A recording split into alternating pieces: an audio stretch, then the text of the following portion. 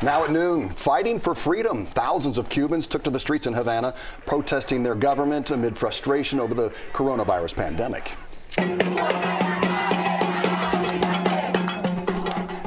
And in South Florida, support hundreds in Little Havana rallied with the Cuban people. The protests in Cuba are historic, the biggest anti-government demonstrations on the communist island in decades. Yeah, lawmakers here in South Florida are in solidarity with the Cuban people. CBS 4's Brooke Shafer is in Little Havana with more on the South Florida support. We are living key moments in the history of Cuba right now. A national uprising is taking place against communist tyranny in Cuba. The fight for freedom in Cuba echoed in Miami. Members of the Assembly of the Cuban Resistance on Monday called out decades of communism on the island.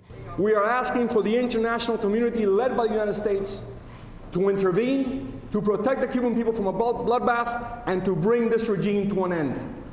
The Cuban people are not on the streets asking for medicine. They're not in the streets asking for food. They're on the streets demanding freedom. Over the weekend, an unprecedented sight. This video is from Havana as thousands of Cubans marched in the streets on Sunday, saying they're no longer scared and chanting for freedom. Several people were arrested, and throughout the afternoon, Cuban authorities shut down internet service on the island. Libertad, libertad, libertad, that is what we're hearing.